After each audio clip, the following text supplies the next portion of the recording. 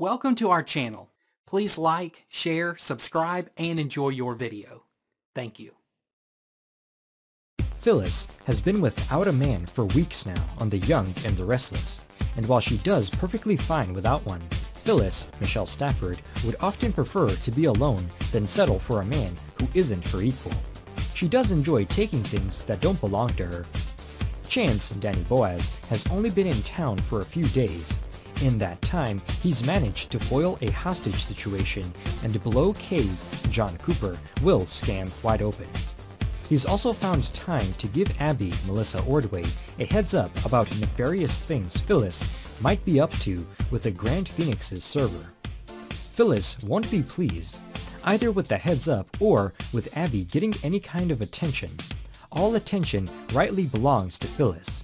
Will this development prompt her to go after Chance? Over 5,000 fans pondered the possibilities. Retract those clothes. Oh god no. 86% of you recoil from the mere mention of it. Isn't Chance, what, like Daniel's age? And super secret agent or not, he is totally out of Phyllis's league. She'll be bored with the day after she gets what she wants out of him, and Chance won't know what hit him.